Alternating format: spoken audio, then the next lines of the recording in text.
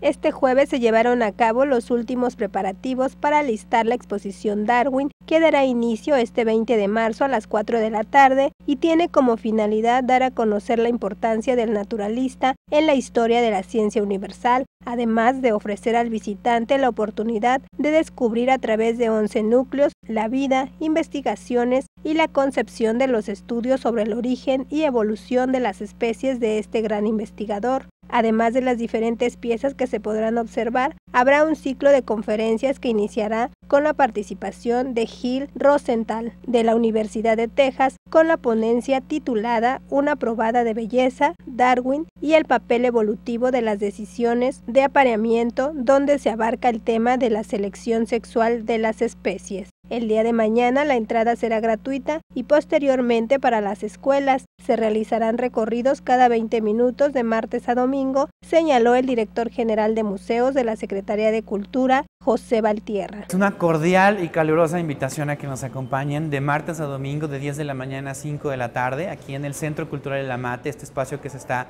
recién inaugurando justamente con la exposición de Darwin. Tendremos visitas guiadas, cada 20 minutos habrá visitas guiadas en el espacio. Les hacemos también la invitación a todos los maestros y a todas las escuelas para que nos llamen y consulten en la página de la Secretaría de Cultura la información de la exposición, porque todas las escuelas tendrán el acceso gratuito en este horario de martes a domingo de 10 a 5 de la tarde. Lo único que tienen que hacer es llamarnos para poder eh, agendar la cita, tener que tengan un